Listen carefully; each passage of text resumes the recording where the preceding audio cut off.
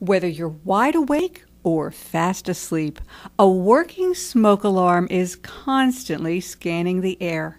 It never sleeps. A smoke alarm is the only thing in your home that can alert you and your family to a fire 24 hours a day, 7 days a week. It's plain and simple. Smoke alarms save lives. But they have to be installed the right way and be working. The two types of smoke alarms are 1. ionization and 2. photoelectric.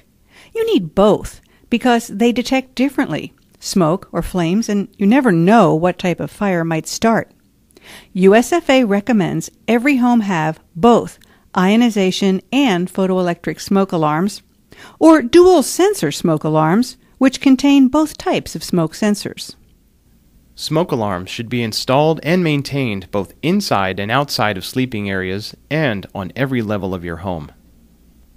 Be sure to follow the manufacturer's installation instructions carefully.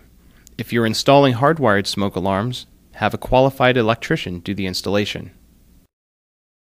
A smoke alarm can be powered three different ways by disposable 9 volt batteries, or a non replaceable long life lithium battery, or the alarm is hardwired into the home's electrical system.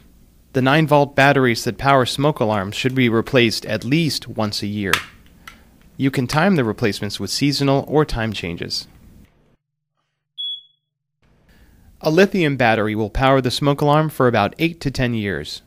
Once the battery is dead, the entire smoke alarm unit battery included, needs to be replaced. Be sure to test your smoke alarm every month and replace the entire unit every 8 to 10 years. It just takes a few minutes of maintenance for years of protection.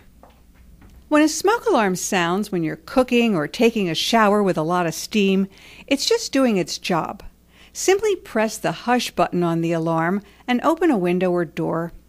If your alarm doesn't have a hush button, wave a towel at the alarm to clear the air.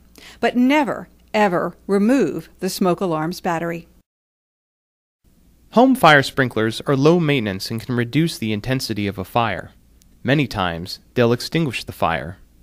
For the best protection possible, the U.S. Fire Administration recommends having a combination of working smoke alarms and sprinklers in your home. If there's a fire in your home, time is critical and every second counts. It can take just 30 seconds for a small flame to become a huge fire. In case of a fire, everyone in your home needs to know how they will get out. Prepare an escape plan and practice it with everyone in the home. It's really important to include children. Teach them not to hide in closets or from firefighters. Everyone should gather at an established meeting place outside of the home. Get out and stay out. Never go back into a burning home. Remember, install, inspect, protect. Smoke alarms save lives. Do your part to get out before firefighters have to come in.